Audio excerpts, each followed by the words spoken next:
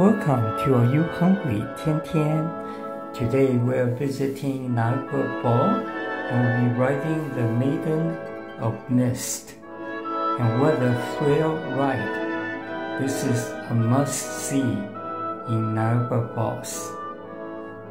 And in about 20 minutes, we'll experience the tremendous, majestic, spectacular view and the power of Niagara Falls.